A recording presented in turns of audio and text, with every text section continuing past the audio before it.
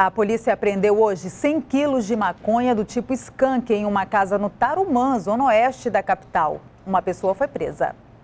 Os entorpecentes estavam dentro da casa de Glacinei Caldas de Souza. Os 100 quilos de skunk foram avaliados em 600 mil reais. O Glacinei ele já estava sendo monitorado aqui pelo departamento há 15 dias aproximadamente e nós recebemos a informação hoje que ele teria, hoje pela manhã, que ele teria feito um transporte de uma grande quantidade de entorpecente e essa droga estava sendo mantida em depósito na sua residência. Com a apreensão desta sexta-feira, o total de entorpecentes apreendidos pela polícia chegou a duas toneladas, 400 quilos a mais que o ano passado. Um grande trabalho, foi mais de uma tonelada e 400 de maconha, mais de 460 quilos de cocaína, nós tivemos também muita droga sintética. A polícia ainda investiga a origem da droga. Lacinei foi preso em flagrante, ele vai responder por tráfico de drogas.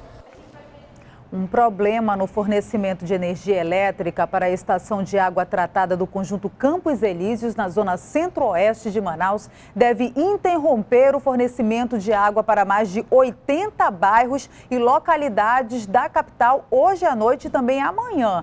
A informação foi divulgada pela empresa Manaus Ambiental. A equipe técnica da concessionária trabalha para tentar restabelecer o sistema.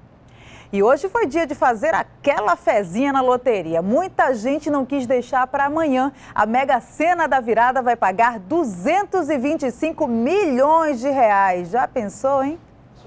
O que você faria se ganhasse 225 milhões de reais? Eu comprei uma casa, né, para minha família, um sítio para passar final de semana, tratar de montar uma microempresa aí para se manter. Principalmente ajudar minha família, né, que que é muito dinheiro, né, para uma pessoa só, né? Uma pessoa só para gastar tudo isso é, é graça, né?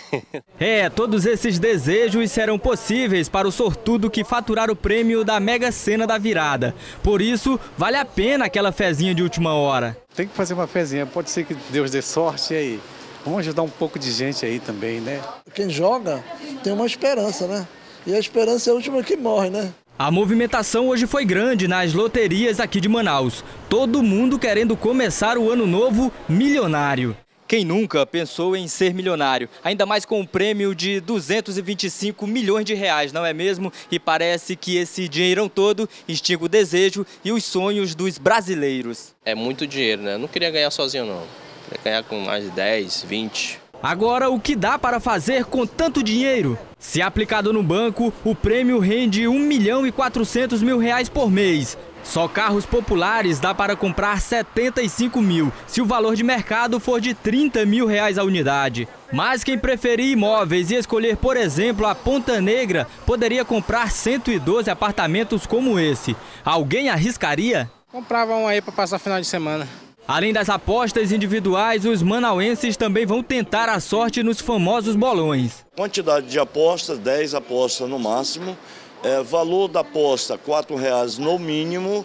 E a quantidade de apostadores, que é no máximo 100 apostadores. Até vereador vai apostar no bolão da Mega. Quem não joga não tem esperança, não tem expectativa, né? Então eu quase não jogo, mas na virada eu quero entrar 2017 bem com dinheiro no bolso. E neste sábado, último dia para as apostas, as loterias vão ficar abertas até meio-dia aqui na capital. Daqui a pouco, sexta movimentada no comércio na área central de Manaus. Roupas e sapatos eram os produtos mais procurados. E ainda, a amazonense é preso no Espírito Santo depois de agredir uma zeladora. Nós voltamos já já.